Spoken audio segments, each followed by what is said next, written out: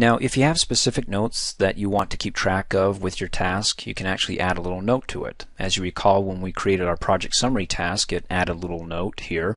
And remember, that was from the file to properties here. And the note was down here, the comments. Well, you can add notes here, and they're not going to be tied to the properties. They'll be your own notes. Not only can you type text, but you can include hyperlinks, objects, files like Excel, Word, PowerPoint, all you have to do is double click on it really fast and it'll take you to the Notes tab unless you double click on the task and if it takes you to another tab again you can still go to the Notes tab.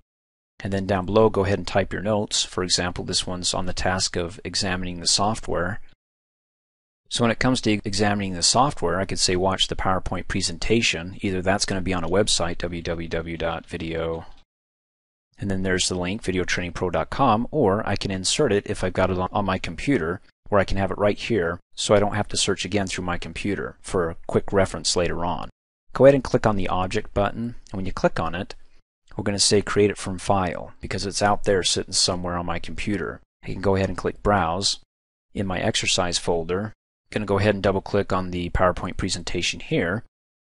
It's got the address tied to it. I want to display it as an icon within my notes field here and click OK and there we go. I've got my notes and I have my PowerPoint presentation. When I'm finished, go ahead and click OK and let's see what it looks like.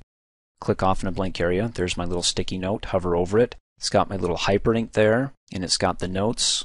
Watch the PowerPoint presentation. So all I have to do is double click to open it up and either click on the link here and then it warns me. It says, are you sure you want to go to this website? I can say yes. And then it warns me again and it says, are you sure? Because it could have viruses. I'll click OK and it opens up the website. Let me go ahead and close out of that.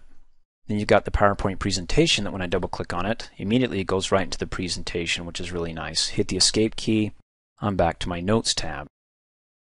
Thanks for watching. Hey, as a quick reminder, if you like my video, please give it a thumbs up. You can also click on me and subscribe to my channel, get notified of the latest videos, and for only $2 a month, you can have access to all my Microsoft Office training videos.